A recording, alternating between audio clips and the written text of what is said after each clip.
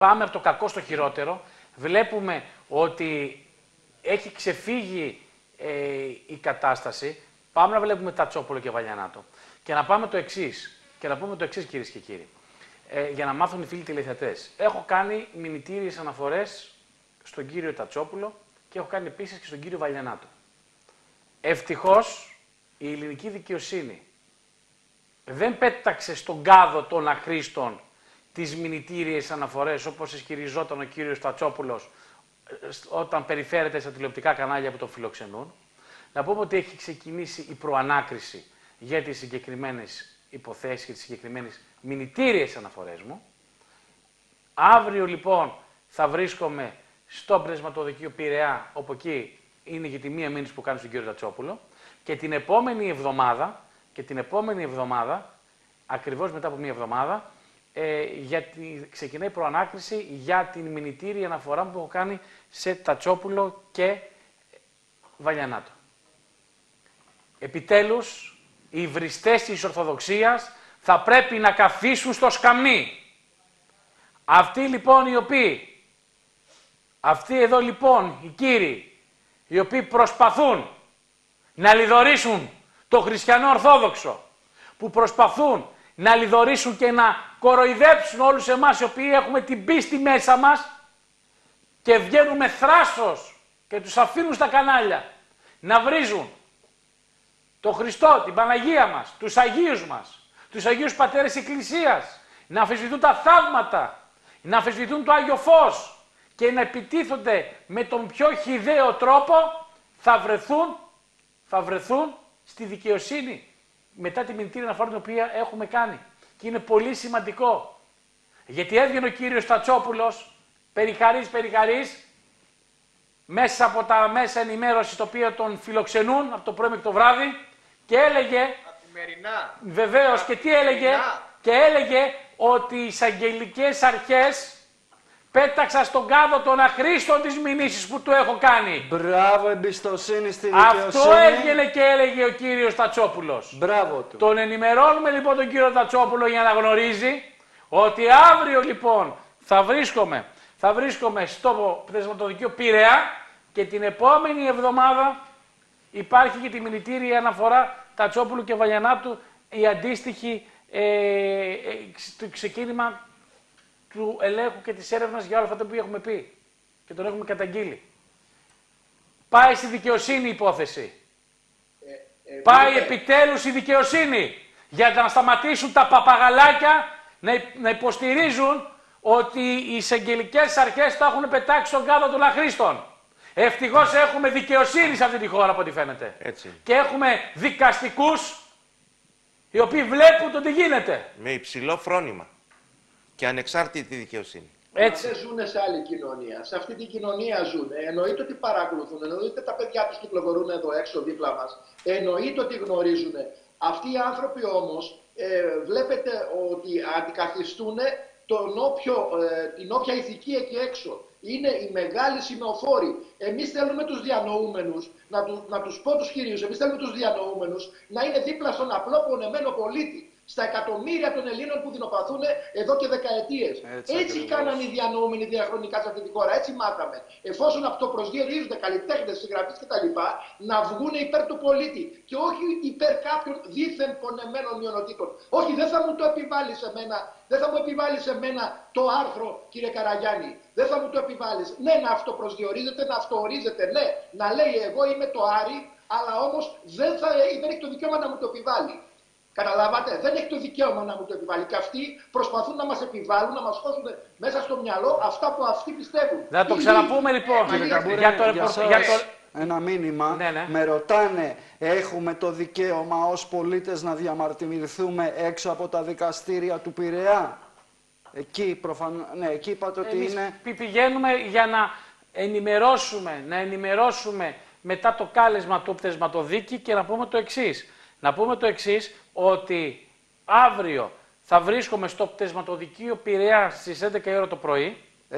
και αντιστοίχως την επόμενη εβδομάδα στις 23 Τρίτου θα βρίσκομαι στο πτεσμα... με ζητάει ο πτεσμα... στο να πάω στο πτεσματοδικείο Αθηνών. Γιατί ξεκινάει η προανάκριση για τις δύο μηνυτήριες αναφορές, για την πρώτη η οποία έχει γίνει, ήδη έχει ξεκινήσει η έρευνα. Είναι πολύ σημαντικό, πάρα πολύ σημαντικό, ότι η ελληνική δικαιοσύνη δρά επιτέλους ώστε να εφαρμοστεί ο αντιρατσιστικός νόμος όλων αυτών που προσπαθούν με νύχια και με δόντια να πολεμήσουν την Ορθοδοξία, να πολεμήσουν την Εκκλησία, να πολεμήσουν τα πιστεύω μας.